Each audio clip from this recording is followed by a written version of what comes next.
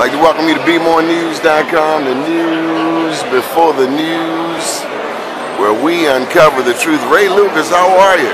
I'm doing great, Doni. How about yourself? Good, good. A uh, hundred black men, Prince George's County chapter.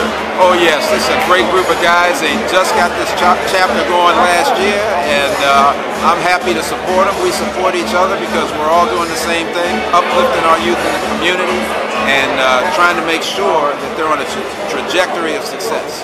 And we're going to be honoring you up in, in Baltimore. I really appreciate that. Yes, sir. May 4th with the Black Capitol Award. Wanted to recognize your support of black business. Any thoughts? Hey, well, thank you. Hey, you know I'm there for black business. As a matter of fact, uh, uh, spent some time with the Women's Presidents Organization, a group of uh, entrepreneurs in Baltimore. They have two chapters, and uh, they are they are tearing it up from an entrepreneurial standpoint uh, and growing their businesses and helping others grow theirs. It's a powerful thing. Well, it's always good to be here in Prince George's County, known as the wealthiest black jurisdiction in the country. That's right, and, and the leader of this particular organization here is Walter Kirkland. He's the president of this chapter.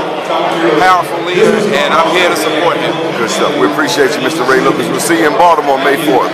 Thank Black you, Wall Street Rams. Yes, great. Thanks. Keep watching BmoreNews.com, the news before the news, where we uncover the truth.